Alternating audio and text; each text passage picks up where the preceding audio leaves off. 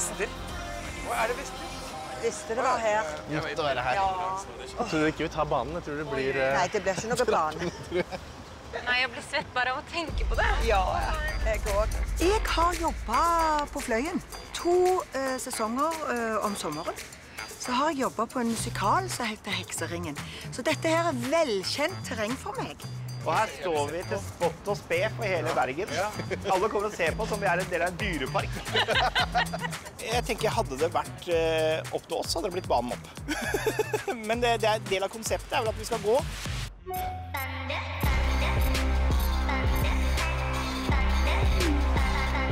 God formiddag, folkens. Velkommen til Bergen. Dere står nå foran det som kanskje er Bergens største turistattraksjon, da. Fløibanen. Jeg venter på toppen. Det er noen høydemeter eh, høyere opp. Gleder meg til å se dere om ikke så lenge. Ikke så lenge, det er irrelevant. Jeg må innrømme det at jeg har bare tatt banen. Jeg har aldri gått. For jeg, jeg har syntes det har hørt så tøft ut.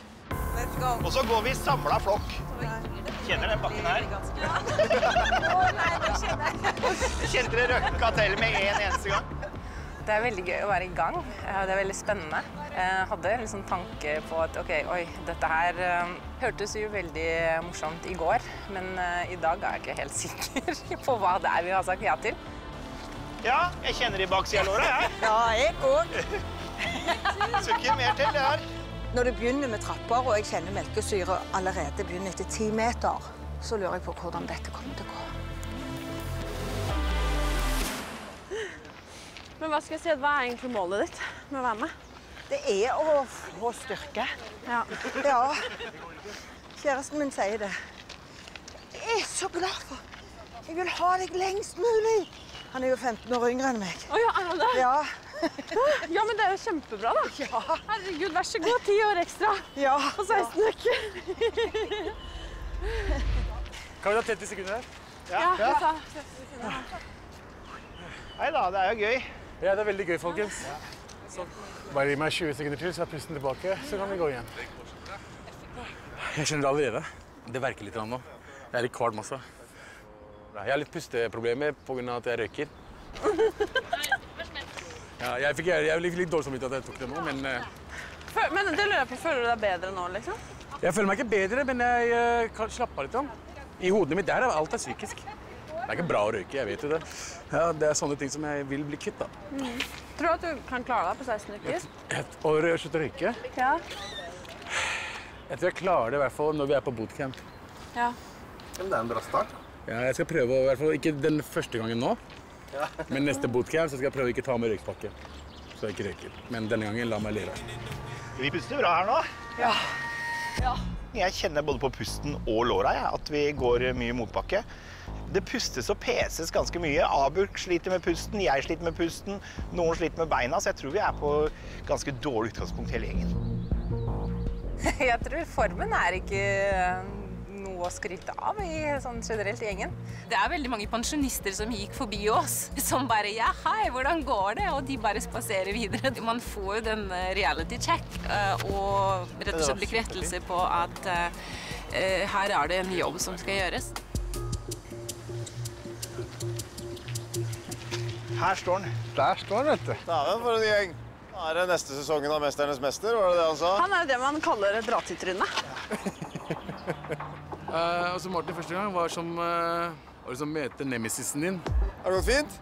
Ser svett ut i panna, da. Det er bra. Nei, det er uh, Jeg har ikke noe ord akkurat nå. Det er greit. Han er uh, godt trent. Og så er vet jeg også at han er veldig flink på det han gjør. Så han er liksom min yin, han er min yang, yin da, når jeg er yang. Velkommen til eh, Fløyen, og velkommen til eh, Bergen. Takk. Takk, takk. Dere har helt sikkert masse individuelle mål eh, i løpet av denne reisen, som vi skal snakke mye om etter hvert, som vi skal bli enige om, og som vi kommer til å jage. Men så er det også sånn at denne versjonen av 16 ukers helvete inneholder en felles utfordring som dere siste dag, dag 112, skal gjennomføre sammen. Dere har i dag gått ett av de syv fjellene Oi. vi skal gjennomføre dag 112 på det som heter De sju fjell i Bergen. Oi. Oi. Jeg skjønner ikke hva som bare skjer nå. 16 ukers helvete bootcamp avsluttes med en skikkelig monsterutfordring til deltakerne. Vi skal nemlig gå Syvfjellsturen i Bergen, en svært krevende fottur på over 35 km med en total oppstigning på 2500 høydemeter. Denne turen er beregnet til 8-12 timer, men folk har brukt over 18 timer på å gjennomføre denne Syvfjellsturen. Først tenkte jeg at han mente at vi skulle gå ett fjell hver bootcamp. Og jeg tenkte bare sånn Ja ja, men én av sju nå, liksom. Null stress. Og så skjønte jeg det var alle på én dag. Jeg bare skjønner ikke hvordan jeg skal ta meg herfra til dit, og så dit, og så dit, og så dit på én dag. Jeg har ganske stor tro på at den gruppedynamikken dere kommer til å klare å utvikle i løpet av de neste ukene, kommer til å sørge for at det kommer dere til å klare. Men det krever disiplin. Det krever at dere er litt tøffe mot dere selv. Og det krever at dere står i det opplegget som vi legger. Men det er ikke, det er ikke fjelltur nå igjen. Du er ferdig med dagens fjell. OK, nice. Du er ikke helt ferdig med dagens økt. Det skjønte jeg. Men for å være helt ærlig, jeg er litt bekymra for at du har satt vel høyt mål for denne sesongen. Altså det å gå de sju fjellene her. Prøv sjøl. Jeg tipper det blir helt kant i kant om 112 dager holder for å klare å skape et fysisk nivå som gjør at det faktisk er mulig. Her må jeg på jobb. Vi skal eh, ha to beinøvelser og to overkroppsøvelser. Det eneste man trenger for dette setupet, er en benk eller en stol eller en trapp eller et eller annet. Første øvelse vi skal gjøre, er en eh, air squat, altså en vanlig knebøy uten vekter på ryggen. Senke oss ned så dypt vi klarer, og opp igjen. Øvelse nummer to, bulgarsk utfall. Her går dere så langt ned dere har sjanse til. Øvelse nummer tre, pushups på benk. Øvelse nummer fire, dips.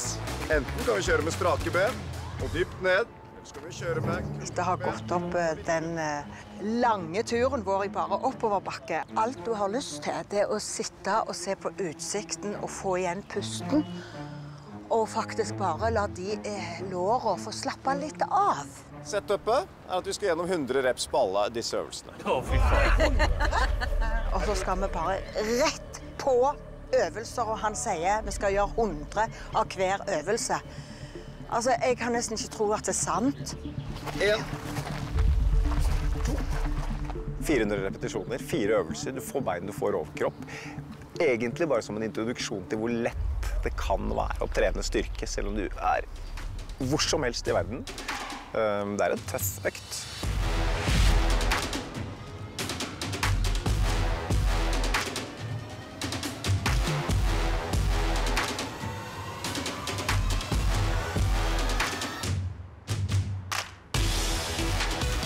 Flere av de øvelsene det er øvelser jeg kanskje unngår på egen hånd fordi at det er ubehagelig. Ikke sant? De tingene er vondt.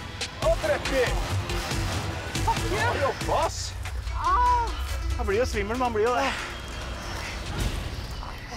Å, fy søren, altså. Det at vi er i gruppa, det tror jeg hjelper veldig. For det at du ser de andre òg sliter. Det er ikke bare du som prøver å jukse med pushups og sånn.